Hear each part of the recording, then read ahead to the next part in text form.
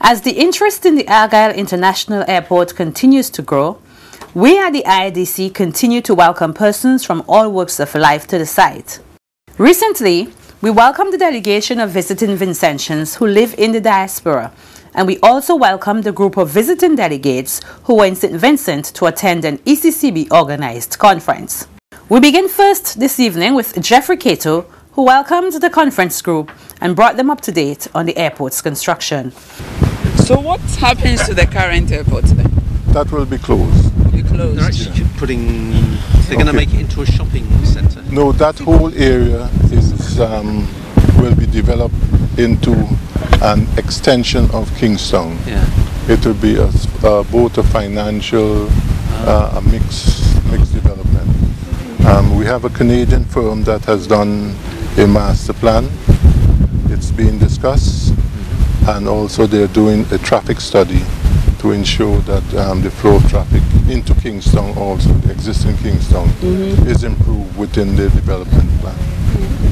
Our targeted date for completion would be in, we're looking at April next year. April substantially completed. Then we'll do some um, commissioning and testing and commissioning by the contractor and ourselves. And uh, so by July, we'll be ready to bring in the ECCA, which is the East Caribbean Civil Aviation Authority, Okay. who is our regulatory body. So what will they do with the, the in terms of they'll decommission the old airport, and bring in the new? No, well, they, they will have to ensure, um, we'll have to get flight tests coming, and they will be the part of that. They will also, there are the aspect of security they have to check up. They, um, they have to check all that we meet all the ICAO standards. They are a subsidiary of ICAO, International Civil Aviation Authority, to ensure that um, we comply with all the regulations and standards of the ICAO. because it's going to be that day you go live. That's going to be Yeah. major. And, and we expect that the FAA, because it's a new airport, Okay. would request, they're not the regulatory body, they, but they will request of our regulatory body for an inspection of the runway. Because if aircraft, um, US aircraft are going to fly, they want to ensure for, for um, insurance purposes that they could grade, grade the airport and classify the airport into class one, two, three. At the beginning of the year, we, we, were, we had a shortfall projection of 80 million US. We have now, our shortfall has gone down to 16 million Are you serious? 16, one six, from 80, 80. right? We, we, we, we got a confirmed um, loan from Alba, from Venezuela. Okay. Um, we got some land sales from the government in Canouan for 20 million US. Um, we got a loan from the Caribbean, Devel- um, not Development Bank, Caribbean De- um, CARICOM Development Fund. Okay. And uh, we got a loan from Bank of Nova Scotia. And all these loans are very concessionary, is below 4%. Trinidad had indicated that they will look at assisting us with um, the bitumen for the asphalt, to lay the thing. And that is estimated some five, five million um, EC, EC, yeah, about five million is about about two million US. So that that is one area we're looking at, and uh, we just, as a matter of fact, it should be reduced by another three million. We just got uh, uh, financing, uh, called business financing from Oshkosh, that are prepared through their own bankers to finance the the firefighting um, um, um, equipment. It's about one million dollars each, so that's three million dollars. What is left to be done on earthworks is the removal of all those rocks there. We have a little work to be done on this hill, and this has to be moved. Okay. Right. The reason we have not moved it is because of our laboratory. We have um, a rock outcrop there that has to be moved, and we work at the end. Following this presentation, the group was taken across to the terminal building for a closer look. To the three arrival um, doors, two of them will take you directly into the immigration, and one that is higher up will take you through the, to the VIP area and to the in-transit lounge. The arrival area is where you see those doors right here. That's the arrival area. And those, and, yeah, yeah, on the bottom floor. So th those shorter um, doors, you may put it, is the where the baggage carousel goes in and outside.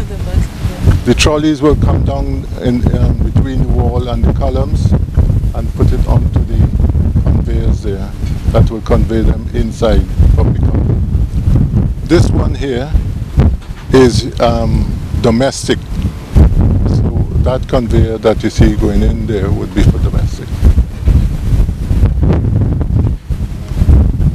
And uh, half of this is departure, domestic, and arrival, domestic.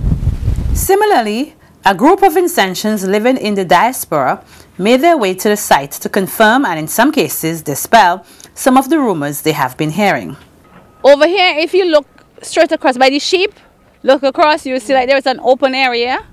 There, there are actually culverts there. We put some box culverts from right in here back up to those that forested area over there and they go right down to the Warraco.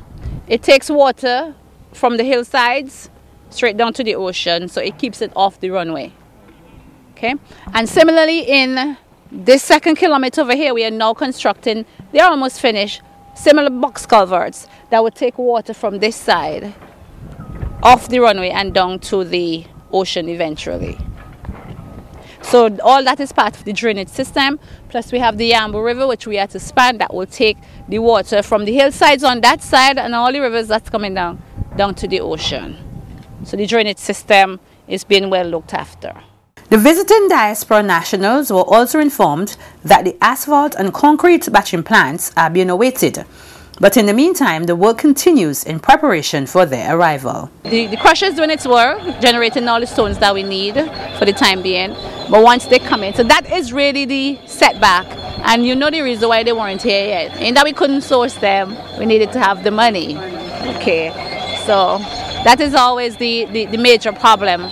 So if we get a really good injection of funds right now, we could push this work like crazy and we could have it ready. But it's really the money that's, that's holding it up. But um, we're hopeful and God is good, you know. We'll get there, right? So that's basically where we are in this area with the, um, with the thing. This is our soil testing lab here, this building. So all the material that we put on the, sorry, on the runway is tested before we put it there. You have to make sure the material is good before you put it there. And soon we're going to be expanding the lab to facilitate concrete as well as asphalt testing because you also have to test those before you use them. Make sure you have the best quality. So, and this lab was given to us by Venezuela, Chavez, and it's been managed by the Cubans. We also have Vincentians working there who are learning what the Cubans know so that when the Cubans go back we have skilled people who can do this work and we don't have to import them again right and we're doing that throughout the project we have engineers who, who have been trained in Cuba who are Vincentians and who are now working alongside the Cubans getting all the practice and all the uh, extra knowledge that they need so that when these people go back they can maintain this airport themselves. They know the ins and outs and they know what to do. So our people being trained one time. As long as it takes, if it take another year, we can wait because we see what's happening yeah. and we're very proud of it. All I right. Think, I think Thank my you. experience coming back this time because I haven't been to St. Vincent in 22 years. You know, but my experience coming back this time was more positive than it was the last time. my daughter, this is her first time coming to St. Vincent. Oh, my daughter. Welcome, my dear. Welcome. And she welcome. loves it already. Yeah. You love it? Yeah. Oh, Good. Wow. Wonderful. So once the airport is finished, uh -huh. then we'll come All back right. more often. It's just I don't like going to Barbados. Persons, including students from grade 3 and up, are welcome to have a guided tour of the site. Just give us a call at 458 0333. You can also check us out at www.svgiadc.com or on Facebook at Friends of the Argyle International Airport. If you want to make a contribution to the project, you can do so at the Bank of SVG, account number 200884.